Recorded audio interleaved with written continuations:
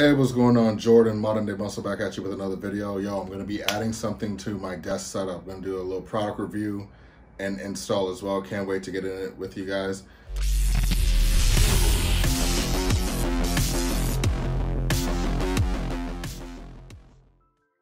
All right, guys, so the microphone we're talking about is the Blue Yeti X right here.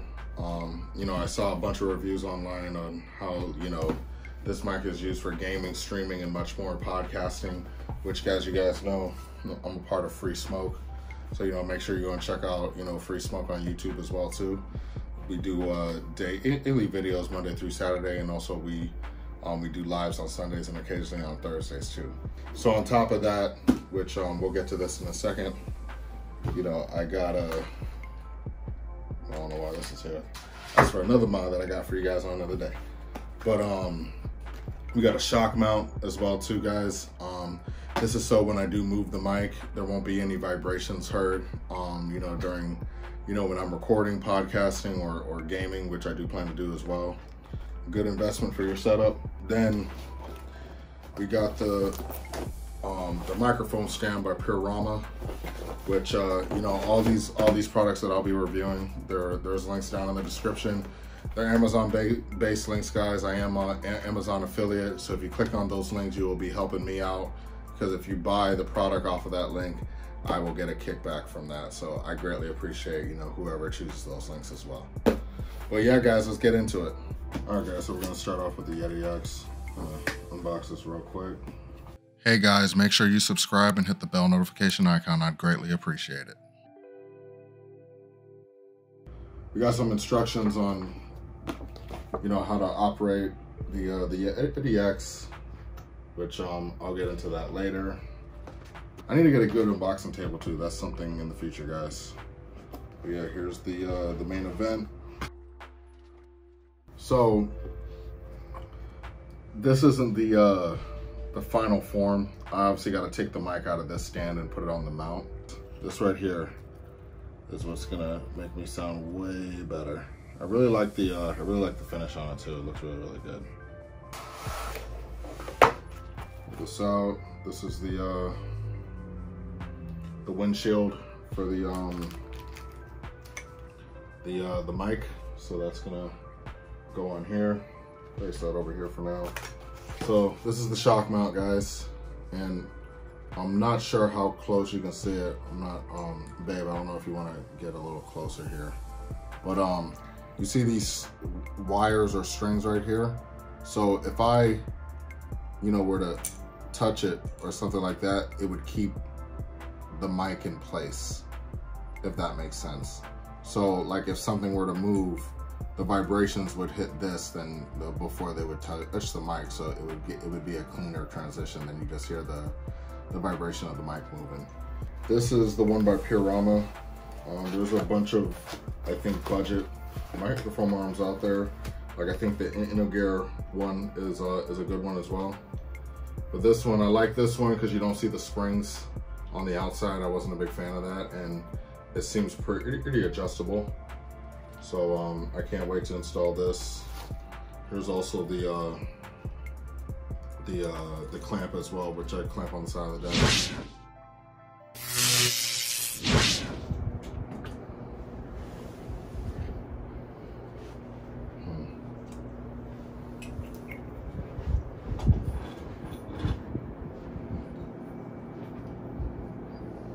Guess you're trying to figure out where to put it. Yeah,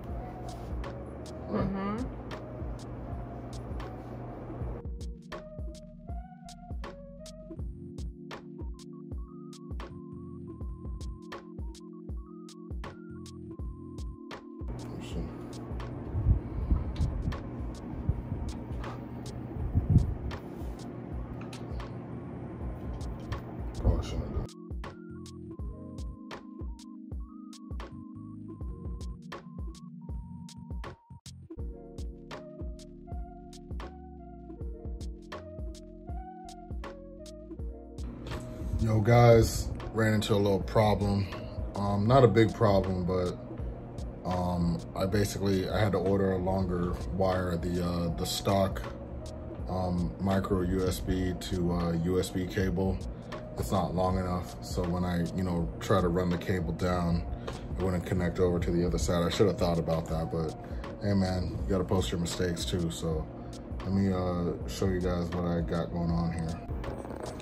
So this is where I'm sitting right here, right? And you can see that I've ran the wires. This is sitting really nice. I really, I really enjoy the way it looks. Um, so I got the wires, which I have the audio cable, the braided cable that I was talking about. And then this is the stock um, micro USB to USB. And as I'm running it, which these cable straps actually came with the uh, the arm, the panorama arm.